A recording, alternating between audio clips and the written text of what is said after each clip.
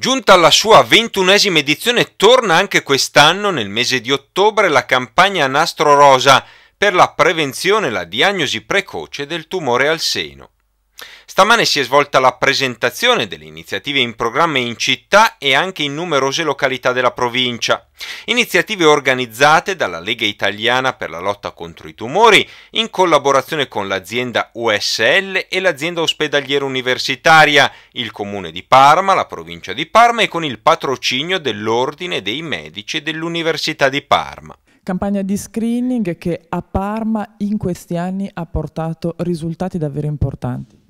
ha portato risultati estremamente importanti perché nel 2013 sono state invitate oltre 48.000 donne in fascia di età 45-74, di queste 48.000 donne il 69% ha aderito e quindi oltre 33.000. Di queste donne qua che sono state sottoposte nei sei centri che noi abbiamo di screening, oltre a Bagnasco anche in altre realtà distrettuali, circa 1.500 sono state richiamate per approfondimenti approfondimenti e di lì poi dopo purtroppo in alcune percentuali basse, però circa 195 donne, è stato diagnosticato un tumore in fase iniziale molto molto basso come dimensione del tumore sottoposto poi a un intervento chirurgico non demolitivo ma estremamente vitale. Quindi abbiamo, siamo riusciti a prendere in tempo diciamo, quella che poteva essere una patologia importante per la prognosi della donna